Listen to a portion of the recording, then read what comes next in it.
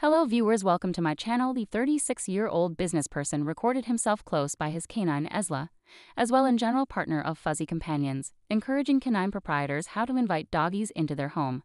A few snapshots of the recording gave off an impression of being shot at the father of one's rambling family garden in Berkshire, which he imparts to his better half, Alizée, and child Inigo. See the full video underneath. Close by the video were the words, Blissful Public Doggy Day. There's a minefield of data out there on how you ought to plan bringing a little dog back home interestingly.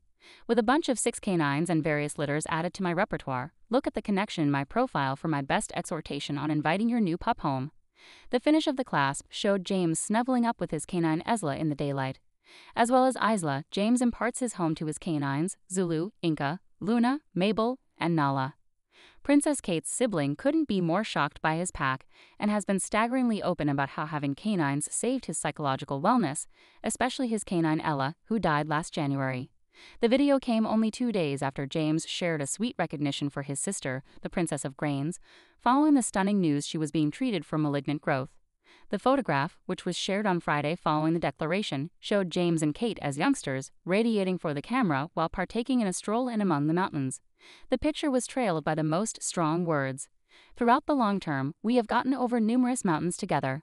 As a family, we will climb this one with you as well. The sibling sister pair have forever been astoundingly close, with James uncovering that she and their sister Pippa were unimaginably strong during his fight with misery.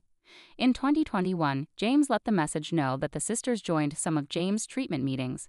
Not really simultaneously, yet either separately and some of the time together, and that was so significant in light of the fact that that assisted them with understanding me and how my brain was functioning, he told the distribution. Furthermore, I think the manner in which the treatment helped me was that I didn't require my family to get out. Whatever could we at any point do? The main thing they could do was simply come to a portion of the treatment meetings to begin to comprehend.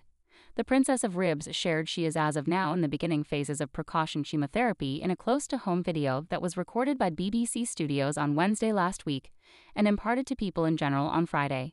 Kensington Royal Residence has not affirmed the kind of malignant growth Kate is being treated for.